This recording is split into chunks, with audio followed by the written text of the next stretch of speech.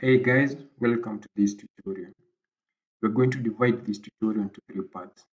In part 1, we are going to learn how we can create a new project, learn different elements contained in different project folders, and even learn how we can add custom elements.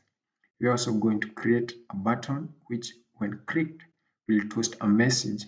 Finally, we are going to create an emulator and learn our project in the emulator.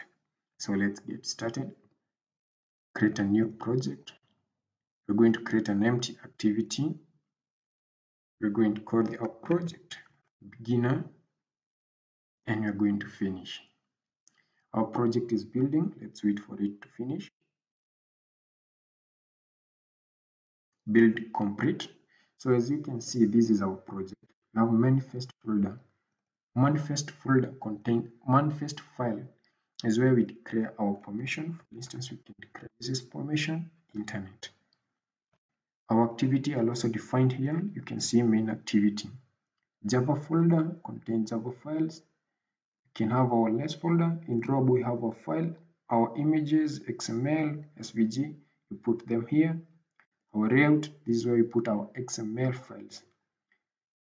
Our values is where we put our colors, strings, styles, so we are going to add an element in our activity main. We have different layouts. We have constraint layout, linear layout, we even have relative layout.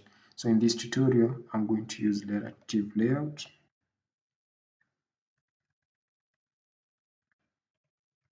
Relative layout. I'm also going to add a button. Button, we're going to wrap content wrap content. Text will be submit. Can give it a background color color. Then you can get a preview here. I need this color.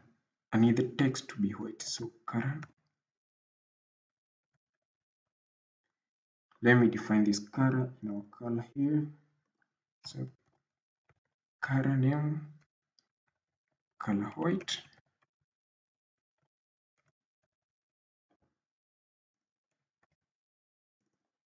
so here I would say add color then color white I want to center it vertical true. And I also want to center it horizontal true. I'm going to let me give it an ID here. ID button submit. To assign some actions to the button, just go to your activity. I'm going to define button, button, submit.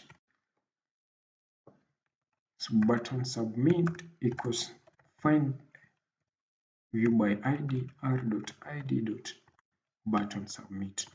So when this button is clicked, it's dot set new view we are going to show a message toast dot make text get application context then we can say button clicked. Then toast dot length long if you want it to stay for long and length short if you want it to the message to just display and disappear. So let me give it long then share Let's learn our project and see what we got. Learn. I've already some created virtual device, but we're going to create a new one. We're going to create Nexus 5. We're going to give it, uh, we can create even Nexus 5 times.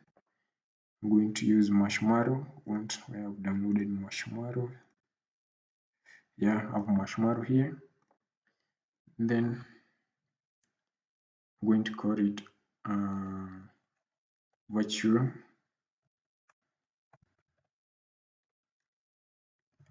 device then finish creating android virtual device. Let's wait for it to finish.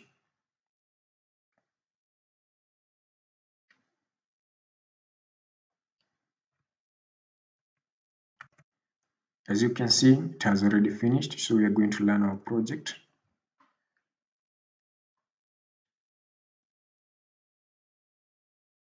this is our new emulator you can use it to test your project development. So let's see. Starting. In our next part we are going to use the same emulator. We are not going to create a new one.